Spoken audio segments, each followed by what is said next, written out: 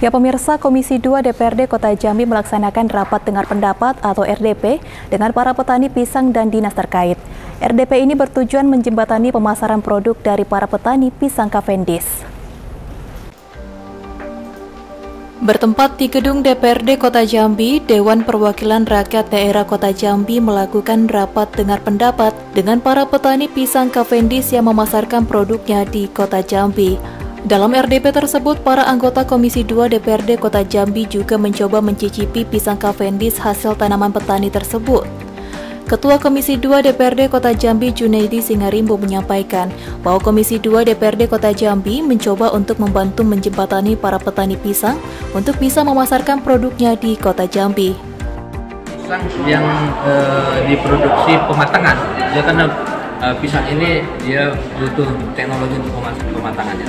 Jadi dia buat uh, kebunnya di Sabah. Proses pematangan dia di Kota Jambi di Jalan Soekarno Hatta. Ini tadi kita berkomunikasi uh, dari petani sendiri uh, sharing dengan kita untuk minta pemasarannya di Kota Jambi.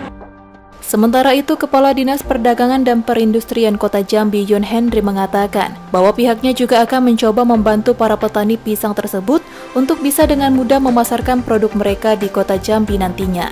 Eh, bapak-bapak ini sebagai pelaku usaha uh, pertanian pisang di Morosaba itu mencoba untuk uh, memasarkan atau uh, mencari pasar pisang ini di Kota Jambi.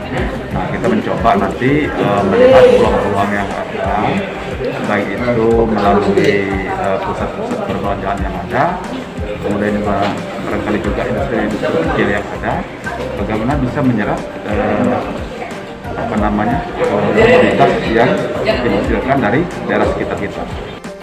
Sandi, Jek TV, melaporkan.